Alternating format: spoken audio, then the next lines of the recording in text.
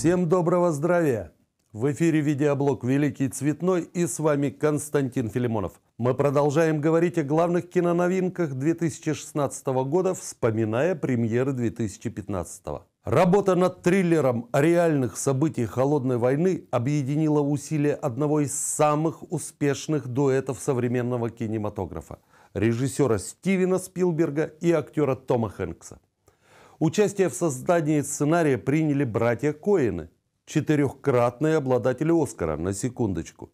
Всем известно, что кинокартины Спилберга редко обходятся без номинаций на премию «Оскар», так что ждем очередных наград. А теперь о сюжете.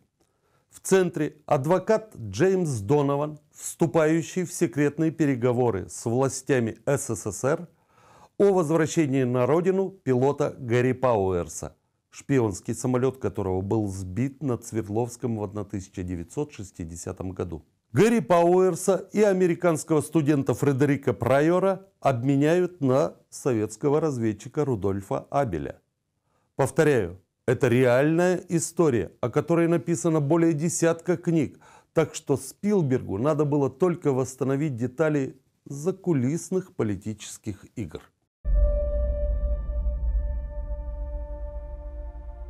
Мы ведем войну. Но пока на этой войне не задействованы войска. Наше главное оружие – информация. Поклонники Тома Хэнкса связывают со шпионским мостом самые большие надежды – он реально может получить Оскар за эту роль. Мы хотим, чтобы переговоры об обмене вели вы, а не официальные лица. Вы можете предотвратить ядерную войну с Советским Союзом.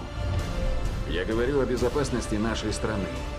А лично я рад, что в этом фильме снялся мой друг Михаил Горевой. Спилберг, понятно, дал ему роль советского злодея, но Горевой не горевал. Миша сыграл свою роль блестяще и не затерялся рядом с прославленным Томом Хэнксом. Миша, я рад за тебя и горжусь дружбой. А сам фильм при бюджете в 40 миллионов долларов в прокате собрал 140. Посмотрите этот фильм, советую. Но есть и другие голливудские фильмы, которые откровенно разочаровали. И главным разочарованием 2015 года стала кинокартина Анджелины Джоли «Лазурный берег». Сюжет. Середина 70-х. Бывшая танцовщица Ванесса и ее муж, американский писатель Рональд, путешествуют вместе по Франции. Понемногу они начинают отдаляться друг от друга, но все меняется, когда супружеская пара задерживается в одном тихом приморском городке.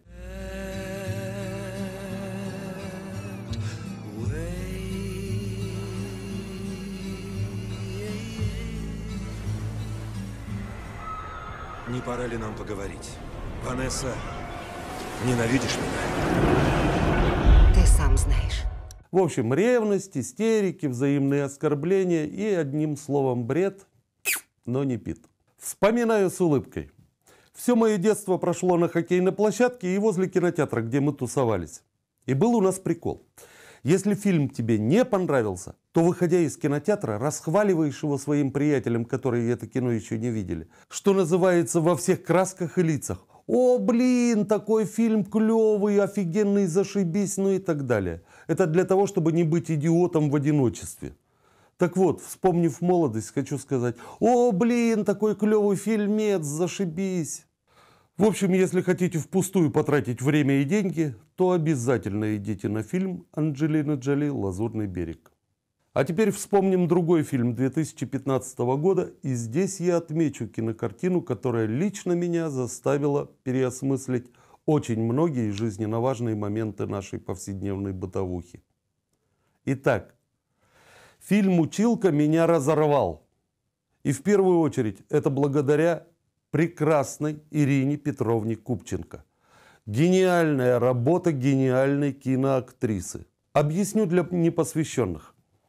В кино есть такой термин «отрицательное обаяние». Это особая, тончайшая, филигранная техника актерского мастерства. И Ирина Петровна Купченко блестяще управляла своим отрицательным обаянием на протяжении всего фильма. Одновременно хотелось и задушить ее героиню, и защитить. Оторваться невозможно. Пройти по классу и собери все электроприборы. Я вдолблю в ваши пустые головы одну очень простую вещь. Вы все пустое место. А теперь о втором главном герое фильма «Училка». О пистолете. Да кто вас боится? После просмотра фильма мои дочери убеждали меня. Пистолет в фильме – это символ силы. Я объяснил дочерям, пистолет – это оружие слабых. Недаром говорят, если слово не бьет, палка не поможет. И кинокартина «Училка» – это рассказ, страшный рассказ о слабых людях. Очень много правды в этом фильме. Пусть это киношная правда, то бишь утрированная, но лучше сейчас ее принять, чем потом, когда в чьих-то руках настоящий пистолет возникнет, и тогда уже пощады не ждите. Мой совет – посмотрите фильм «Училка». Обязательно. К чему все это, а? Кто-то умнее стал. Открывай Американцы очень трепетно относятся к своей истории и героям, которые не боятся идти против коррупционной системы. И как иллюстрация к вышесказанному социальная кинодрама 2015 года «Защитник», основанная на реальных событиях.